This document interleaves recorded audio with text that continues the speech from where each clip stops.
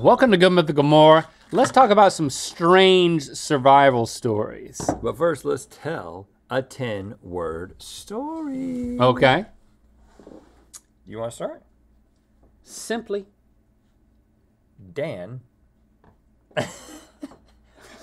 You're so critical of me, and that's what you do? It's a story. Sometimes. touches Where? it. Doesn't. Feel. So. Slippery. Simply, Dan sometimes touches where it doesn't feel so slippery. Simply Dan. That's a good. That's a good story. Wait, hey, we it- did it. Ow. Is Simply Dan like a, a character? Simply Dan. No. What's Simply Dan gonna No, do this time? Simply, comma. Dan sometimes touches it. Like, Touches where it's not simply Dan. No, it's sometimes touches where it doesn't feel so slippery. yeah, because he wants to grab hold of things. Hold on. Uh, Friction's good. like, I think this is a response to something. Oh, don't take it away. I need to see that. yeah, yeah, yeah. I think it's a response to something like, like a, like a, a- Why- a, a conversation in a cartoon. Why like, is Dan on his, on all fours right now? So enthusiastically. Well, because simply Dan sometimes touches where it doesn't feel so slippery. you know, it's like after a after an ice storm, Dan is looking for the rough spots just to remember who he is. he's all about traction. He's like, I gotta find the places where the ice hasn't frozen over. I Gotta find it where it's not so slippery just to remember I'm human. Are you into survival stories? Uh, we are too. Are you into Stevie telling us survival stories? We are too. Are you into Stevie telling us survival stories that we are into and so are you, but then some of them are fake and we get angry? We are too. Let's do that. Let's play that game. Hey guys. Hey, So it, it's either booyah, that's real, or boonah, that's that's fake. That's not a real survival Can we talk about real and fake for a second? Because like I feel like so we got these from the internet. They're fr- they're people's stories. I know where you're so going. you have to believe that the the people are telling the truth. Mhm, mhm. You know, some of them are articles, some of them are Reddit Reddit is. Um, but that's what we mean by real or fake. Like, I mean, what's real? So you they're know? so they're all fake. But I mean, if you're Did a you make 'em up? cynic, if you're a cynic, they're all fake. Have you- If you're a believer, As a someone who's on the Reddit on a regular basis, Link, have you noticed the phenomenon did you know that, you're when, on Reddit? That when when Yeah, when I- travelers would enter, travelers would enter the city of Alexandria, they were required to turn over their books for copying, and then they would be given back the copy, and then the original would stay in their library. You learned that on Reddit. yeah, I did. When people tell a story on Reddit, like, cool. like a TIFU kind of story, um, that it's not kosher. Today, Reddit. TIFU. Today I fudged up. Oh, oh, I'm not on that thread. Oh, come on over. Um, Is it a good one? any any story thread that's a story or am, Yeah. am I the a hole? You know all that stuff. Yeah. people it's not kosher on reddit in my experience to question the validity of the story. The original poster is kind of just like all right we're gonna go with we're not, we're not gonna get into endlessly I don't believe debating whether or not you're telling the truth or not because we would do that on every post. So why don't we just assume that you're telling the truth and deal with it as if it's true? Have you noticed this? Uh, on stories that are obviously fake by the way. Actually, no, I haven't noticed that. you should go to reddit more. I think the am I the a hole? I haven't noticed that. tifu definitely i've noticed it Okay, I'm not on that one. All right, first story. We're ready. This is from Reddit community Let's Not Meet. Reddit user The Deepest Regrets writes I was driving home Christmas Eve on some backcountry roads with my girlfriend when something darted in front of our car. I slammed on the brakes and walked into the forest to check out what it was. That's when my girlfriend, who was still in the car, started laying on the horn. Turns out there was a completely naked man, covered in mud, holding a hatchet, circling the car. My girlfriend said he walked back into the forest just before I got back to the car, but before he disappeared into the woods, the man looked at my girlfriend, smiled, and waved. When we reported him to the police, They said this was a tactic to lure people into the forest to kill them. What? Well, I don't understand the tactic. He went after the wrong guy. He should have gone after the guy, not the gal in the car.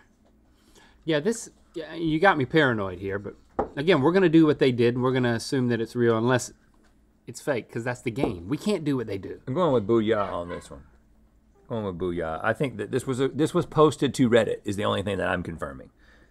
If somebody, if some, something or runs by your car and you have to slam on brakes, it's like you don't get out and go after it into the woods. That just seems I agree with that. I don't believe the story is true. I just believe it was posted on Reddit. I'm saying boo nah. Rhett's correct. That's what I mean. Like it's like Yeah, okay, but yeah, it's a real it's a real story. But did it happen? I don't know. you know what did happen, Stevie? What? This morning I put on this hoodie. You know, and the reason I put it on is because this color of hoodie, the green embroidered mythical That's since blue. 19 blue. The green. The reason I said green is because we asked the members of the Mythical Society to vote on whether we should release the blue or the green, and they chose blue. And that's why I put it on. Only barely though. Yeah, but I mean, look at this. It's embroidered, Link. I mean, this is that's Go to em- mythical.com. That's embroidery. If you're into embroidery, either doing it or having it on your body, well, we can you can get it on your body this way. Three dimensional. It's Uh, real. That hoodie. It's real. Yeah, yeah, yeah, yeah. Hit us again. You know I put it on because it's green. The thing about that story that rings the most true to me is that the man waved at the girl in the car. Like, of course, like that happens on on a regular basis. Yeah, that right, creep yeah. you like my mud suit Yeah. And my hatchet. You've worn a mud suit before. Uh, mud shorts. Yeah. Yeah, yeah. Late Dirt shorts. Dorts. dorks. On a Friday night in September of 2016, a Florida man was we go. dumpster diving, which is technically not against the law in Florida, in a dumpster near the lot of a warehouse. As he climbed into the large industrial dumpster, the lid slammed shut on him and the bar lock wedged itself just enough to trap him inside. Mm-hmm. The Florida man spent the entire weekend inside the dumpster with temperatures upward of 100 degrees. Oh gosh. On Monday, an employee at the warehouse found the man. He was taken to the hospital and treated for dehydration. When asked whether he'd be going on any more dives, he said, Absolutely. It's all about the thrill of the dive. Florida man. That's all you need to know. I, I I think that's sound reasoning, but I'm going to go with Boo Nah because you you're playing into Florida man. the Florida man stereotype. Aha! Yeah, it's fake. it sounds real, though. I feel like it sounds like so the something would realer ones are fake and the fake ones are real. Okay, I get Getting it. Now. stuck in a man, getting stuck in a dumpster in the hot weather. Think about the way the dumpster juice would just be wafting into your mouth. I mean, but there is stuff that you could eat, probably, and survive. you'd be vomiting. At a warehouse. You'd be though? vomiting. Hey, but so you'd be surviving. All right, hit us, hit us again. This next creepy tale comes to you from the snow-capped Cream mountains potato? of the Andes. This next cream potato. This next cream potato. Two experienced hikers were climbing the Siula Grande, a 21,000 foot mountain in the Peruvian Andes. When snowstorms moved in, the men decided to rope themselves together. Mm-hmm. Unfortunately, one climber fell, injuring his leg. They couldn't continue climbing, so the other He decided fell and to drained his leg. Injured his leg. I can- injure I'm not his hearing- I can leg. understand the way you're you. saying words. Injuring his leg. Okay, sorry. They couldn't continue climbing, so the other decided to lower the injured hiker down the mountain. Mm-hmm. However, another snowstorm hit, and the injured hiker was left dangling mid-air. In order to survive, the uninjured hiker had to do the unthinkable. He had to cut the rope. This is a movie. Miraculously, I was worried about saying that word, but I did it. I could tell. The Cream injured potatoes. hiker landed in a crevice and was able to use the remains of the rope to lower himself down the mountain. Both men survived the ordeal and said if the rope roles had been reversed, They would have he'd done the cut thing. the rope too. Now, oh, I- This is a movie, and I've seen it. So, is it based on a true story, or did they just come Yes. up with a story based on I the think movie? we've talked about this on this show. so this is Booyah. This is real because it's a Yeah, movie. yeah, yeah. I remember this. Or yeah, it's real. But I don't know if it's a movie though. I think it's a maybe a documentary. I think 'Cause the guy they tell showed- the story in the documentary. Because the guy showed us up later at camp, and like, I, I mean, you you have this. It was like, I had to let him Feel, go. You feel a bit stupid. No, the guy who he cut. no, yeah, I had to, I, I had to let up. him go, but then yeah, then he Then he shows up. up. It's kind of like the Revenant. That's what happens in the Revenant. what if Revenant. this isn't a in- movie, in a What if we're ever? but you both have the same memory of it? What if we're ever in this situation? Let's just go ahead and make the decision. Who's who's on the bottom? Because if you're on the bottom, I'm I'm cutting you loose, buddy. Uh, I think in our in our relationship, either one of us could be the top or bottom. Uh, you know, while hiking.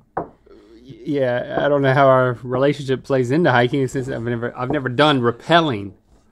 Um, I'm waiting for the movie name, but all David typed was "Oh no." oh no, what that we knew the movie? I think that was a reaction to your conversation. I don't think it's called "Oh no" the movie. Oh no, I'm gonna Oh have to no, the cut him movie! It sounds like a blockbuster. Most people know that the Ferris wheel made its debut at the Chicago World's Fair in 1913, in Uh, 1857. I think the World's Fair started in uh, late 1800s. 1893. Yeah, but I didn't know. That. But that. what some people don't know is that a man nearly lost his life in preparation of the debut. One of the many engineers who designed and built the wheel was test riding alone when it stopped at the top. After an hour of no movement and unable to effectively communicate with the ground team, the engineer took matters into his own hands and attempted to climb down the Ferris wheel. He, of course, slipped and fell the equivalent of six stories, mm. hitting two large spokes on his way down, mm. which ultimately broke his fall and saved, his, life. What's his name? Dan. He cracked He was, he was multiple looking for the ribs, non-slippery parts. shattered both Ferris, his his wrists, and fractured his right shoulder. But the good news was locks were installed on the doors of the wheel just prior to its debut. Hmm? So no one else could do that. Yeah. You just can't. Yeah, that that's true. That's true. The guy, the guy hit the spokes, and that's what saved him. The Ferris wheel had a life after that. I mean, if the guy would have died, none of us would be enjoying Ferris wheels like we do now. This feels real. to me. Constantly. This feels real. Yeah, it feels real. Haha. It's fake. It's a movie called Touching, the, Void. Yes. No, hold on. We were talking about the previous thing. Yes. Cut Yeah. the rope. Touching the void. Yes. Yes. Yes. yes. That's a deep cut, I feel Dang, like. Touching the Void was listed in PBS's 100 Greatest Documentaries of All Time. The Guardian described it as the most successful documentary in British cinema history. Yeah, you can't you can't pull one over on us when it representing one of the 100 greatest documentaries of all time. Who do you think we are? We've seen all those, all hundred. We've touched Okay. the void. But We've were you avoided on the touching. top? Touching the Or void the is a way to determine. Uh, touching the void is also uh, uh, the technical medical term when you touch when you touch your own poop. Don't touch your void. Is is Don't, void don't touch your own void because when you void, that's like pooping. uh, that's the medical term No, it's voiding. a different word, but you're it's really close to void. No, voiding is a term for pooping. No, it's not. Yes, it is. You're saying the medical term for poop is void? no, defecate is the medical term, but voiding is a is a technical term that you can use. and then a noun. oh, he voided himself. I can say they can say that on like an ER table. So, He voided himself. So a There's some doctor So out a there. verb. Yeah, but if you touch, but the poop laying there is not a void. I, I, I would just say one step closer. I, I think you could Because you, could said ex- touching the void. You could extract the the verb, the noun void for poop from the verb voided for pooping. He touched his own void. avoid the void because the void is poop in a hospital. Guys, I'm so sorry to interrupt, but this is the final question Okay. of the game that we're currently playing. Do you have an opinion about touching the void? About touching poop, Yeah. I wouldn't recommend it. Okay. Well, don't have children. Because you, will just find yourself with a handful of it or any Yeah. Right. Yeah. Where did this come from? I don't know, it's just there. Um, there's no way. I mean, it's three to one at this point. So Right. this there's, is There's no way you can win. okay. Last up, we've got another story from Reddit. Reddit user Sean Frickin' Michaels writes I, 15M, am a huge WWE WWF fan Of course you are. and live in an apartment with my family. Hmm. However, no one was home. I had come up the elevator, and as soon as the door opened, I saw a man at the other end. Dude was wearing a mask, which was one of those devilish goat masks with huge horns. Mm-hmm. I'm pretty spooked out by his mask, but hey, it's mandatory to wear a mask, and maybe he thinks this looks neat on him. So no biggie until he tilted his head and from the back pocket produced a vicious looking knife. I ran and tried to get to my door before him, but he was surprisingly fast, and that's where WWE comes in. Drop kick. As I see him closing in on me, I hit him with a move called the spear, which is basically running into your opponent's belly with your shoulder. I then quickly opened up the door and locked it. I called my dad instead of the police, but of course, by the time he reached, no one was out there. By the time he reached, no one was out there. Reached what? The void. The void. Um, Keep in mind, the whole time I was reaching for my own void. now this this guy was uh, 15 years old, male. This is real, man, man. This is real, man, man. Yeah, this is this is I mean, this has to be real because it's like even the way it was I mean- written Sean at the top. frickin' Michaels. 15 year old male, 15M. 15M. I think yes. Matt Carney is also 15. Matt frickin' Carney. a wrestling fan. Yes, yes. I, I think I think he wrote this with his own hand. It is real, according to the, you know, Sean frickin' Michaels. But it, it looks like there's other people on that thread that said that they too had heard of this masked menace.